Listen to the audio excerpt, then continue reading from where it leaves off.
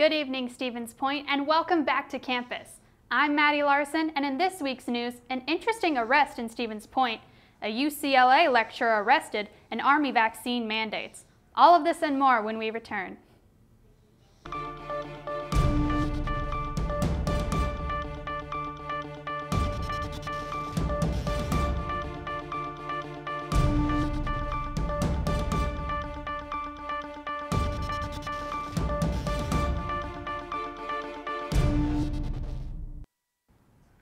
Stevens Point teenager Owen Gross was arrested this past Sunday evening after failing to stop at a stop sign and then getting into a chase with police around town.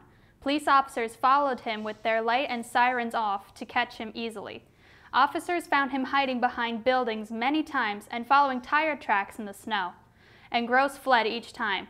Gross was found hiding behind a business and officers approached the vehicle on foot when Gross fled again this time striking an officer with a driver's side mirror. Officers followed him and eventually performed a pit maneuver to stop the vehicle. Gross was arrested and will most likely be charged with operating under the influence, drug possession, and battery on an officer, and more. Wisconsin legislative Republicans are proposing a bill that would restrict abortions if a heartbeat is detected, which is similar to a bill that was passed by Texas Governor Greg Abbott last year. The Wisconsin bill proposed notes that if doctors continue with an abortion, they will be investigated, and abortion providers can be sued if not following the bill. Wisconsin Governor Tony Evers will most likely veto the bill if it manages to get to his office. The U.S. Army has begun discharging soldiers who refuse to get the COVID-19 vaccine. The Army said in an official statement, soldiers discharged due to vaccine refusal will not be el eligible for involuntary separation pay and may be subject to recompt any of the unearned special or incentive pays.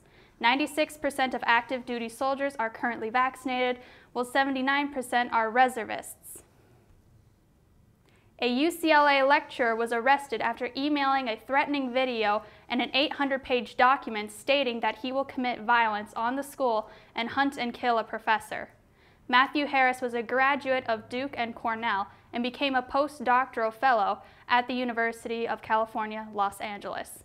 Former classmates of his stated that he was predatory on women by sending excessive texts and emails.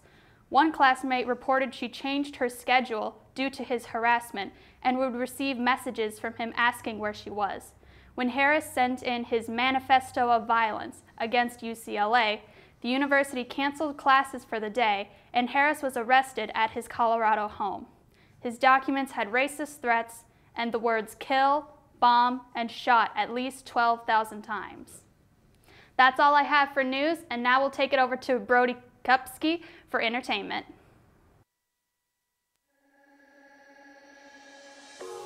The Media Studies is a program for people who love to tell stories, whether that be in written form, visual, or audio. Media Studies is exciting because it's always fresh, it's always new. Media is at the center of everything we do.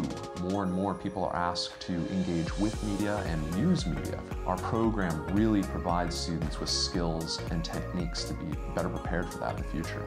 We offer courses in uh, media production, both video and audio, nonfiction and fiction, music production, journalism, film studies. Media Studies is a great way to get hands-on experience in the field that you're looking to do. They teach you the basic concept behind everything, and then they tell you to go do it. We really pride ourselves on thinking of a wide set of opportunities that we can give our students. The student organizations are a great asset. We have SPTV, the uh, student television organization, 90 FM, the radio, and the Pointer, our student-run newspaper. It's a great way for students to get involved learn skills that they need for class, and meet new people. Some great facilities where our students can hone their skills. There's a giant studio in the center of the com building. I've had quite a few classes in there. A lot of our classes are very hands-on, they're very interpersonal. You're getting the skills that will allow you to create your future, and I think that's what makes it a truly amazing experience for students. There's an incredible range of options for graduates. We've had students go out and become independent contractors, work for radio stations, newspapers, with TV stations. Everyone is different and they have their own unique unique style. In all the classes and all the student organizations you get involved in, you have a lot of flexibility to really create your own work and do it in a way that means something to you. We're excited to see what students are making and what they want to make and how we can help students get from where they are to where they want to be. I'm in a video production class that's teaching me how to film documentaries. I'm also in a screenwriting class and I get to learn how to write movies. So I'm doing all these different cool things and I love it every day.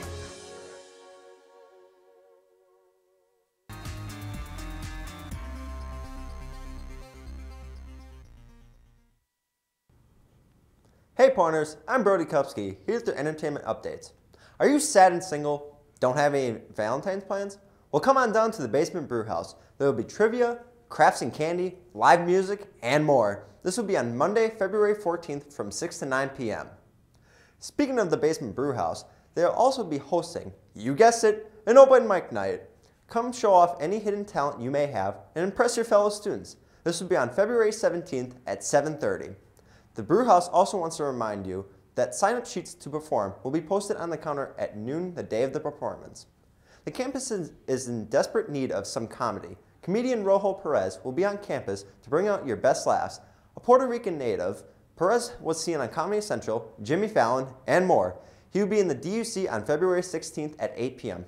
That's all I have for entertainment. Now let's pass it on to Ryan Kreft for his sports updates.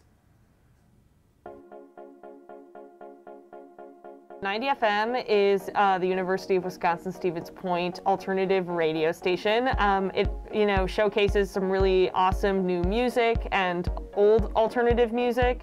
So it's a really great opportunity for students to get involved in radio um, and, and, and in all the processes that happen behind the scenes. 90 FM is an important experience because it offers things that no place else, maybe not only on campus but at other universities. We have a general staff of over 100 volunteers, a lot of which are community volunteers. So those are people that are living in Stevens Point. This beautiful radio station, you are tuned into College Radio Day, right here on 90 FM, your only alternative. It just has the potential to be something uh, as great as you want to make it. Uh, can you tell our viewers what radio station they should be listening to? You should listen to 89.9 90 FM, your only alternative.